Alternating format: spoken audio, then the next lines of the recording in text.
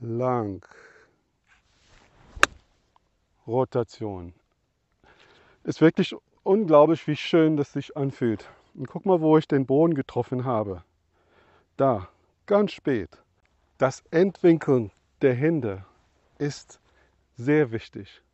Dadurch bekommen wir sehr viel Schwunggeschwindigkeit, treffen Ball, dann Boden. Und wenn man es richtig macht, kann man auch ohne viel Kraft den Ball so weit schlagen. Aber wie du weißt, das ist nicht gut.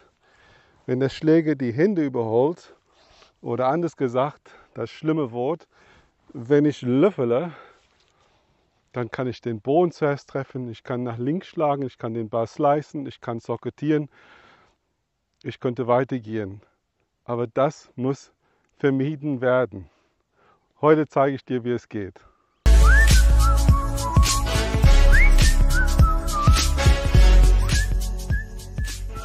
Hallo, ich bin Wohn und willkommen beim Wohnhotri Golf. Ich werde jetzt dir drei wichtige Gründe erklären, wieso der Schlägerkopf die Hände überholt. Alle drei Gründe sind gleich wichtig. Und dann werde ich dir eine Übung geben, die dir wirklich das Gefühl geben wird für das richtige Timing, für, das, für den richtigen Release und für das Nicht-Löffeln. Okay, als erstes, es ist die Vorstellung, den Ball in die Luft zu bekommen. Ohne zu, das bewusst zu tun oder vielleicht es auch bewusst zu tun, versuchen viele Golfer, den Ball hoch zu helfen. Und das tun sie, indem sie die rechte Hand viel verwenden, wenn sie Rechtshände sind, und richtig von hier den Ball hoch löffeln. Äh, die Vorstellung ist, dass man den Ball in der Aufwärtsbewegung treffen sollte, dass ich nur dadurch den Ball hochbekommen kann. Das ist eine sehr natürliche Vorstellung, aber natürlich sehr, sehr falsch.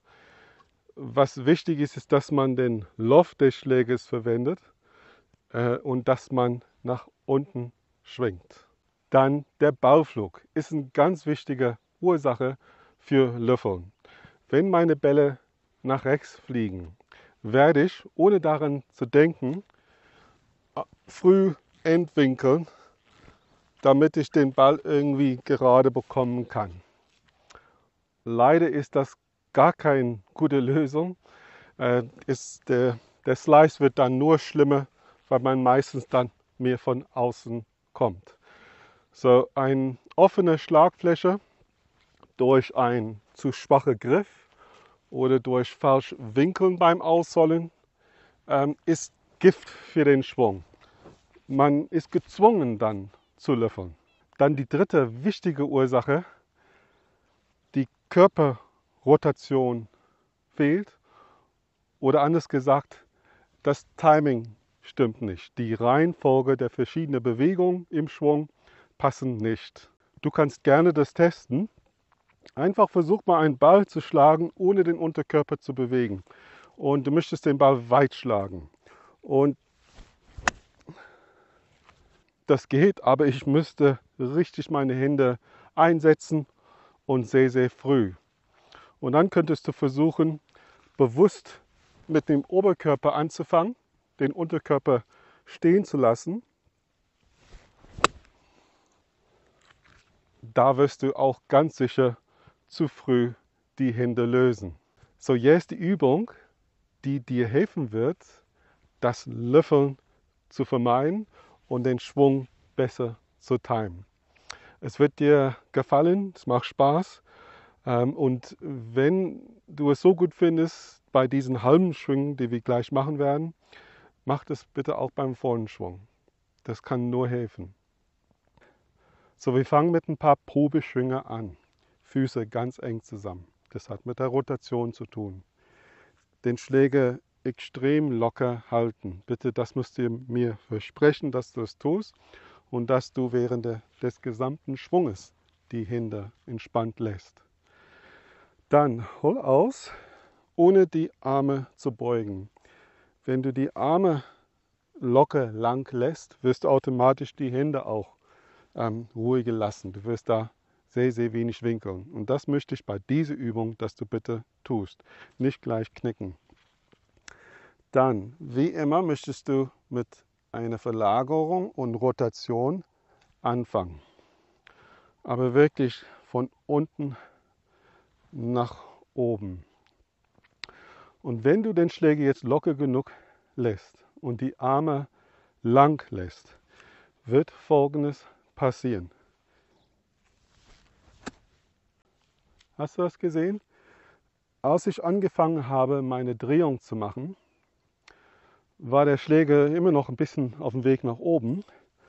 Und dann ist Folgendes passieren, passiert. Der Winkel zwischen Arm und Schaft wurde kleiner und der Schlägerkopf ging nach hinten.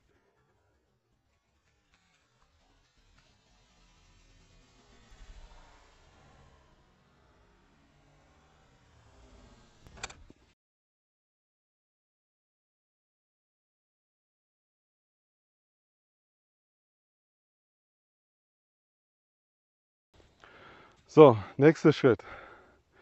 Da der Winkel jetzt hier kleiner wird, während ich nach unten schwinge, darf ich jetzt das tun. Wenn ich so den Schwung start, den Abschwung starte, kann ich die Hände so frei lassen, so viel und so früh, wie ich möchte. Dann stimmt das Timing. Und dann habe ich plötzlich Geschwindigkeit da, in dem wichtigen Bereich. Okay, jetzt schlage ich ein paar Bälle. Ganz entspannt, Füße eng zusammen. Lang. Rotation. Ist wirklich unglaublich, wie schön das sich anfühlt. Und guck mal, wo ich den Boden getroffen habe. Da, ganz spät.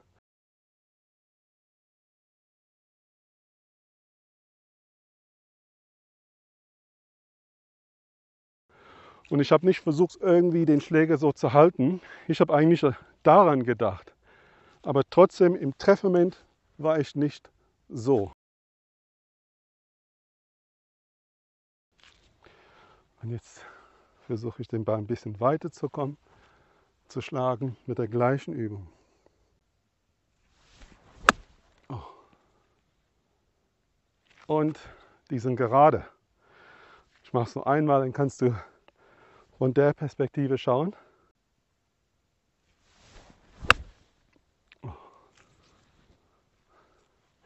Wie Sahne war das. Falls du merkst, wenn du dich aufnimmst, dass du im Treffmoment da bist, mach unbedingt diese Übung ein paar Mal. Dann film dich wieder und schau, wie du da aussiehst. Ich denke, dass du mit dem Ergebnis sehr zufrieden sein wirst. Ich wünsche dir wirklich eine schöne Woche. Ich hoffe, dass du bald wieder auf dem Platz kannst, falls dieses Video dir gefallen hat. Ich freue mich sehr auf das Teilen und Daumen hoch. Tschüss.